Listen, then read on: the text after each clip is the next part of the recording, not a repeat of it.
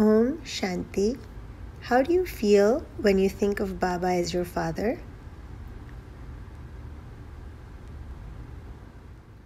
I feel that Baba's with me and is giving me peace. I feel grateful and powerful. I feel powerful and peaceful. I feel happy and secure. I feel light and happy. I feel Baba's hand of virtues on me.